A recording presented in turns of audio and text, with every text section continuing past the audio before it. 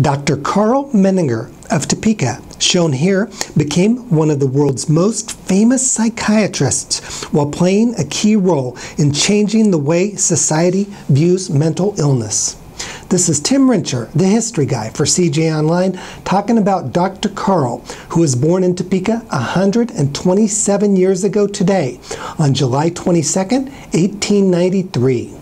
Menninger shown on the right in this photo, taken in 1951, graduated from Harvard Medical School before creating Topeka's Menninger Clinic with his father, Dr. C.F. Menninger, in the middle, and his brother, Dr. Will Menninger, on the left.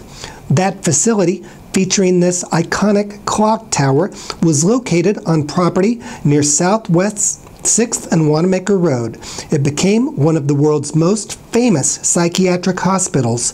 The clinic's patients included movie star Gene Tierney, shown here. Visiting scholars included Anna Freud, daughter of Dr. Sigmund Freud, the founder of psychoanalysis, who is shown here with Menninger in 1966. Menninger wrote various books and articles. He argued that mental disorders could successfully be treated and cured. Menninger also advocated in favor of prison reform. Here, Menninger winced in dismay as New York attorney William Kunstler, known for defending the Chicago Seven, described prison conditions during a panel discussion in 1971 at Topeka's Washburn University. Menninger died of cancer in Topeka four days before his 97th birthday on July 18, 1990.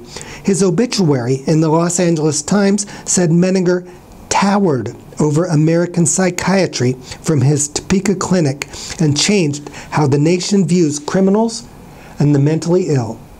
This is Tim Hrenchir, the history guy for CJ Online.